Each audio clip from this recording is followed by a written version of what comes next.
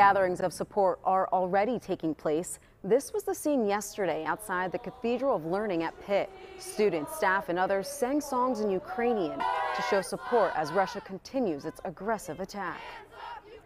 I know people all over this country and just hundreds and hundreds of emails and phone calls are coming in, and I just wanted to do everything I could to support them uh, and also just to feel connected to everybody. Pitt's Russian and Ukrainian student clubs organized the rally showing their support for peace in Ukraine. They called on Russia to remove its troops and end the war.